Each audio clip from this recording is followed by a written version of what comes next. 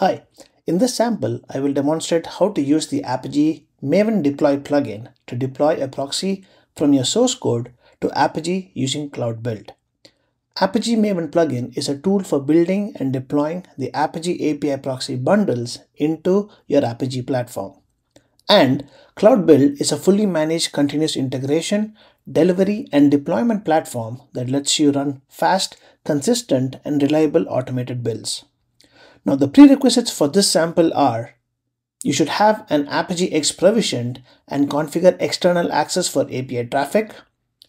As a user, you will need access to deploy proxies to Apigee and also trigger Cloud Build job in your GCP project.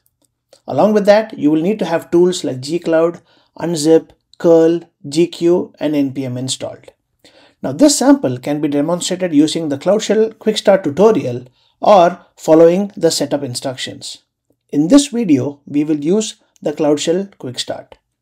Click the Open in Google Cloud Shell to open the Cloud Shell environment and once the environment is completely loaded, let's follow the instructions provided in the tutorial.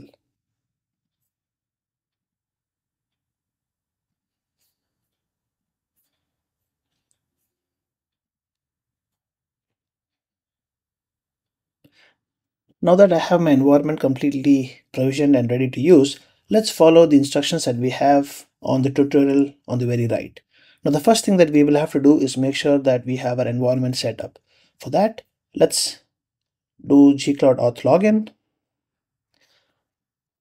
Yes, it's going to ask me to go through the login process. I love. I copy the authorization code. I am pasting it here and that's pretty much it. Next, we'll have to navigate to the deploy apigee proxy directory, which I just did, and then I can click here to open the env.sh file. So here are some configurations that we'll have to update uh, in order to get this sample deployed to our project. So the first thing that we will need is the, uh, the project ID Second that we will need is the Apigee host. This is the Apigee host, the domain that you would configure in your environment group, and then the environment where you'd want to deploy this. Now let me replace those values on my configuration file. And let's make sure that we save it. Once this is saved, let's source this environment.sh file. Now that we've done all of the required step, let's click start. Now the next step that we will have to do is make sure that we've enabled Cloud Build API in this project. So let's click this and click enter.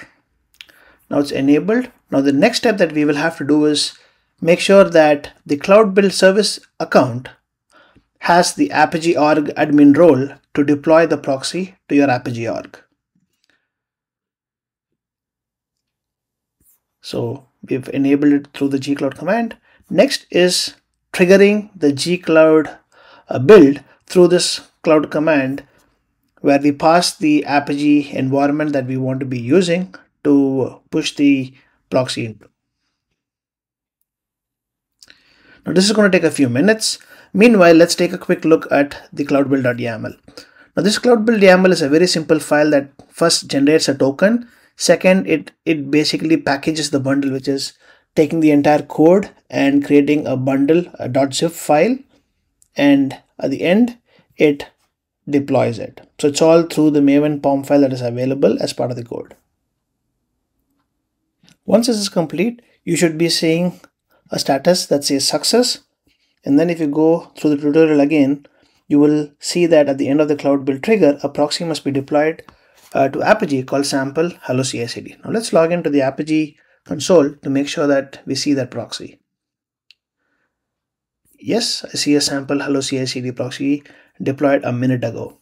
Let's go back and see if the proxy is working as expected. So we have a sample curl command here. So let's copy that and let's make a few calls.